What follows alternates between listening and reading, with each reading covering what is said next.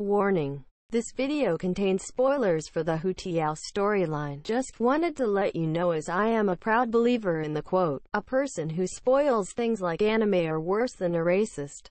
Pope Francis. Fuck you, Mihoyo, you fucking liars! So if you've played the Hu Tao storyline, I'm sure you've seen Big G. Big G. Big G. Big Big G. Big G. Big G. He is mentioned time and time again by Pussy Rat Meng that I can't help but wonder what this god of a man looks like when he graced this land with his presence. But suddenly, Mihoyo throws us a curveball. This rando runs on by the Wangsheng parlor when suddenly exclaiming he has been possessed. The dialogue leads us to believe that this possessor may actually have been the legend himself, the mysterious Big G. A man I had thought would be of great honor and pride, one to represent the poor ass village men grew up in, now has the possibility to be the villain? With this new possibility, I could feel my ass cheeks moments away from falling off my chair, with me on the edge of my seat. We follow Hu Tao to the exorcism site, where we would rid this poor bastard of the pain he felt from being a fucking idiot and going to Wuwang Hill in the first place.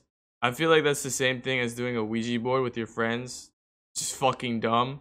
Shortly after the clash with those summoned by the monolith site, we're thrown yet another curveball. And at this point, it feels like Mihoyo is really fucking with us. Because this whole thing about exercising this demon spirit was a ruse. With the power of 300 IQ Hu Tao, in order to apply what is referred to as a placebo effect, she effectively tricks this idiot brain kid into realizing that he isn't sick because of some spirit. But when this grand old parlor trick of hers was over, when we thought the story of ghosts and spirits are done, had come to a close, that's when it happens.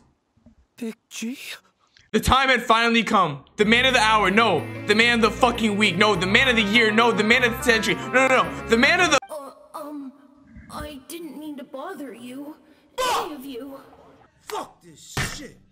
This entire quest, I was expecting to see a man with a more chiseled face than those of Greek legend, bigger pectorals than Tsunade, stronger thighs than Splatoon's Inkling, and we get this. A fucking child? And before anyone says, bruh, if you actually read this story. Yes, I read this story. In fact, I never read any Genshin story quest line for line, but to pay respect to Hu Tao, the fucking real G of the story, I actually paid attention for once. And I am very much aware that when a person dies, their spirit reflects their physical form upon death. But come on! You can't tell me after hearing all the hype of this big G, and especially with a fucker named Little Wu looking like this, that you weren't expecting Big G to be a big fucking G. My theory is that MiHoYo is very much aware of my fetish with the Fatui agents, and most specifically the Hydro and Cryo Fatui, due to their delicious, robust curvatures. And with the information of how horny I get from staring upon them in the wilderness of Teyvat, they threw me a curveball that was the character Big G. They try to redeem this absolutely distasteful lie by giving us some sort of wholesome story with the childhood friends helping Big G pass on into the afterlife. But once again, fuck that shit! I just wanted for the first time in the game a big circular figure that doesn't have their most definitely nosebleed provoking face covered up. In conclusion, there was too much Meng, too much sappy wholesome moments, no big big G, too much Meng, and this one part had me going in fucking circles like five times before realizing how to actually get past it.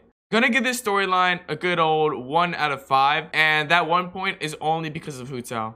I don't know what they think they're crafting up over there in China, but uh, wait, you know what? Actually. Hey Mihoyo, it's Brendini. Just wanted to tell you that that Hu Tao storyline, stinky garbo poo poo.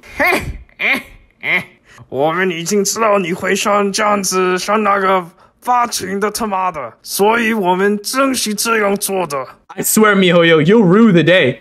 You'll fucking rue it. 我们不管你说什么屁话，你那个笨蛋他妈的，在那个台湾的 Twitch 已经偷你的钱过了。